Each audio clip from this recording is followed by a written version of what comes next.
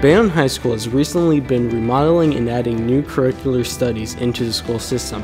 As part of our new Academy of Professional Studies, Bayonne High School now offers exciting new courses which revolve around the popular world of fashion design and marketing. Students can explore the various aspects of the fashion world by enrolling in either fashion merchandising or clothing construction.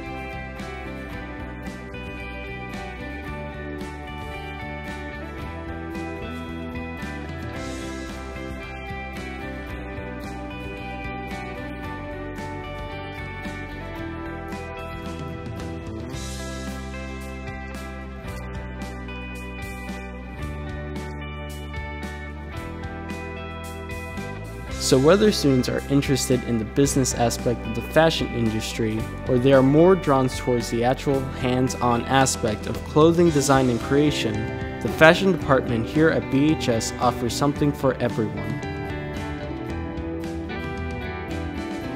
Stay tuned for more BHS Spotlight productions.